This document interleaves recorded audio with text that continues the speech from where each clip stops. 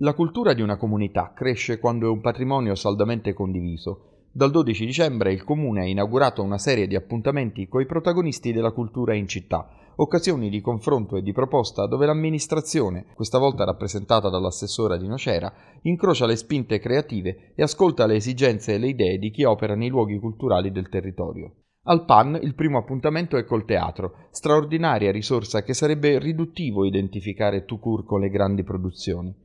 Napoli è un laboratorio fertile dove si coltiva con passione il teatro di ricerca, soprattutto nei piccoli spazi meno conosciuti, dove il pensiero drammaturgico e la poetica della scena si rinnovano di continuo a inseguire e a raccontare il mondo contemporaneo.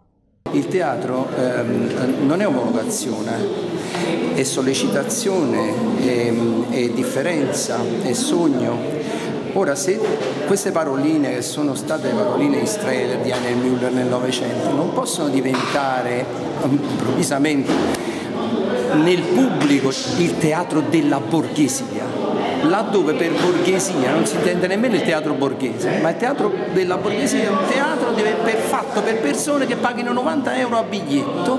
La situazione dei piccoli teatri napoletani è la situazione barricadera del teatro indipendente situazione barricadera del teatro indipendente c'è sempre stata, è, è una, da un lato è una scelta, da un lato è una costrizione. Quali sono e quali saranno le politiche per il teatro a Napoli e in Campania? Qual è la situazione e le prospettive dei luoghi della sperimentazione, degli interpreti, degli spazi fisici dove ogni sera si inventa il teatro? Questi i principali temi discussi a viso aperto nell'assemblea a cui hanno preso parte attori, registi e operatori.